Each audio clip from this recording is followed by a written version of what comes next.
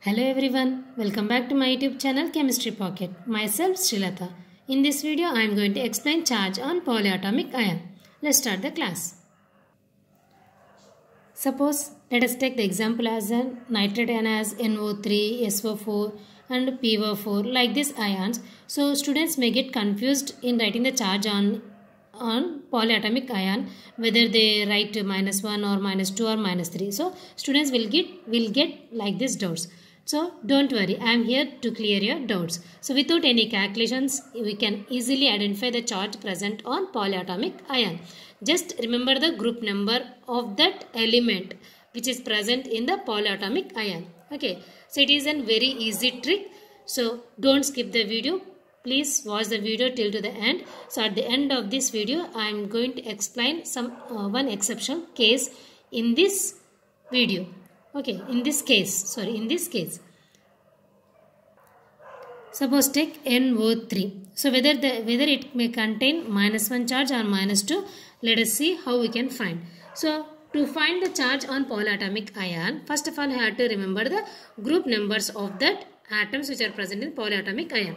So what is an what is an element present here? Nitrogen. So nitrogen is belongs to the 15th group. So 15 is an odd number. Okay. First identify whether it is belongs to which group and what is that number whether it is an odd number or even number. Next oxygen. So oxygen belongs to 16th group. So it is an even number. So when one odd and one even number came, comes means we should write minus 1 as its charge. Minus 1. So NO3 carries minus 1 charge. So nitrate ion is nothing but NO3 minus. Suppose take BrO3. One more example is BrO3. So in this one bromine is an halogen. It is nothing but 17th group. 17 is an odd number. And oxygen is belongs to 16th group. So it is an even number. So one odd and one even means what? Charge you have to write here minus 1 so write minus 1 so minus 1 okay. Let us take one more example as CrO4 CrO4 so it is belongs to d block elements this chromium is belongs to d block element the atomic number of chromium is 24. So the group number is 6th. It is belongs to 6th vertical column of the modern periodic table. So chromium is 6th group element. It is nothing but it is an even number. And oxygen 16th group. It is also an even number. So even even. It is nothing but what you have to write? Minus 2. See here.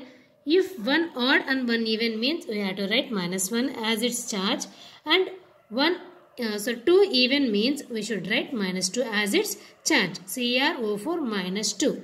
And also take SO4. SO4 sulfate ion. So here both are belongs to the same group. 16, 16 is nothing but even number, even number. So both are even means what charge you have to write? Minus 2. Let us see here.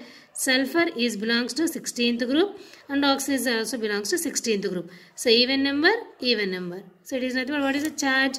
minus 2. So SO4 minus 2. SO4 minus 2. Next suppose take ClO. ClO. ClO. So here chlorine is belongs to 17th group. Oxygen belongs to 16th group. It is rather one even. Sorry. One odd. And 16 is an even. Odd and even means what charge you have to write? Minus 1. So ClO minus ClO minus. Next, one more example. Suppose take MnO4. MnO4. So in this manganese belongs to seventh group. It is nothing but odd number. And oxygen belongs to 16th group. It is an even number. Even and odd means what charge you have to write here? minus 1. So, MnO4 minus 1. Let us take one more example as C2O4. C2O4. So, in this C2O4, what is in carbon group number? So, carbon is belongs to 14th group, oxygen is belongs to 16th group. So, even number, even number. So, two even numbers means what charge you have to write? Minus 2. Minus 2. Suppose take Cn. Cn. So here carbon is belongs to 14th group, nitrogen is belongs to 15th group. So even number, odd number. So one even and one odd means what charge you have to write here? Minus 1. Minus 1. Next, suppose take HCO3.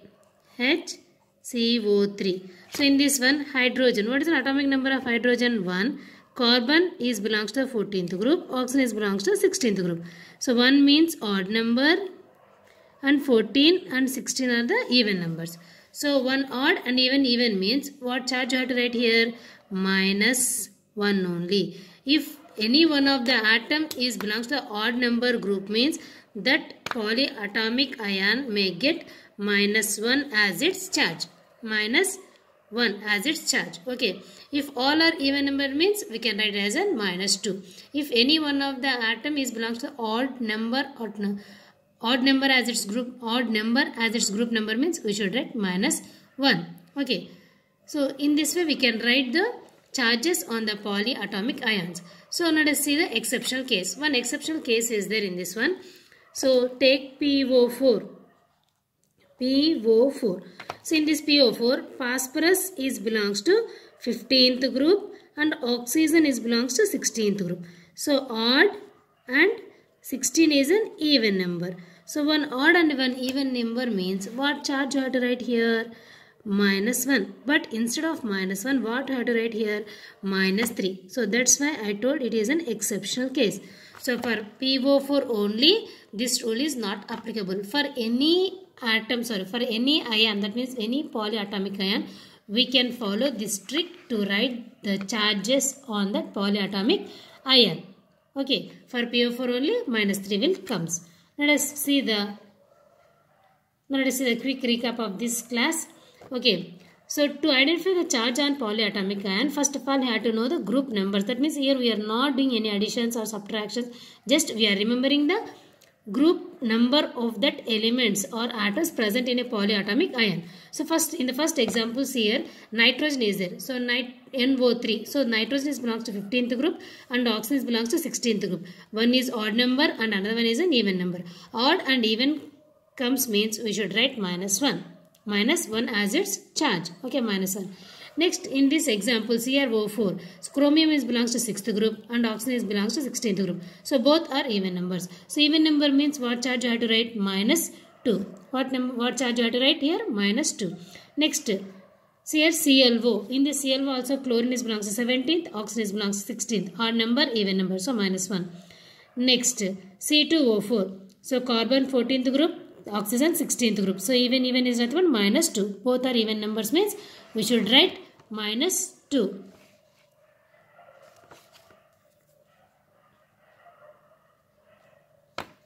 Minus 2. Next in BRO3. So bromine 17th group, oxygen 16th group. Odd number, even number minus 1. SO4. So both are belongs to 16th group. So both are even numbers minus 2. And MnO4, M1O4. Manganese 7th group and oxygen 16th group. So odd and even is nothing but minus 1. HCO3. In this HCO3 that means if more than two atoms are present, two different atoms are present in a polyatomic molecule means so um, if any one of the atom is contains odd number as its group number means the charge on the atom we can we can write it as a minus 1 okay. See here hydrogen 1 and it is an odd number carbon even number oxygen even number. So because of having of an one odd number this polyatomic ion contains minus 1 charge. Okay. And one exceptional case is there in this one. What is that? PO4 so for PO4 for phosphorus is phosphorus is belongs to 15th group odd number and oxygen is belongs 16th it is nothing but even number. So one odd and one even means we have to write minus 1 but instead of minus 1 we are writing minus 3 so it is an exceptional case. That means this rule is not applicable for this phosphate ion. And we can apply this rule for any ion to write their charges to write their charge. Okay so here we are not doing any calculations, just we are identifying the group numbers of the elements or atoms present in the polyatomic ion. So I am sure within 10 seconds we can easily write the charge on polyatomic ion. Okay, this is today's class. Thank you.